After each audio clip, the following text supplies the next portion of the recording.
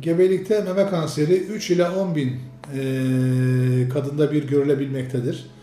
E, tabii ki e, yine önemli bir rahatsızlık, gerekeni yapılması lazım. Burada önemli olan e, gebe olduğu için kişi bazı filmleri yapmak, mamografi çekmek e, mümkün olmayabilir. Ultrason yaparız, e, iğne biyopsisi yaparız. E, ameliyat gene yapılabilecektir ama ameliyattan sonra yapılması gereken bir takım ek tedavilerin gebelik sırasında yapılmasında sorun olabilmektedir. Mesela memenin sınırlı bir cerrahisini yaptığımız zaman arkadan biz radyoterapi eklemekteyiz. Eğer e, gebeliğin sonlarına doğru yaklaşılmışsa sınırlı cerrahi yapıp radyoterapiyi e, hamilelikten sonra yapabiliriz. Çünkü radyoterapi hamilelikte uygun değil. Yani şunu söylemek istiyorum. Bazı modifikasyonlar yapıyoruz, bazı değişiklikler yapıyoruz tanı sırasında ve tedavi sırasında. Hastanın durumuna göre, gebeliğin evresine göre o tedaviyi düzenlemek çok önemli.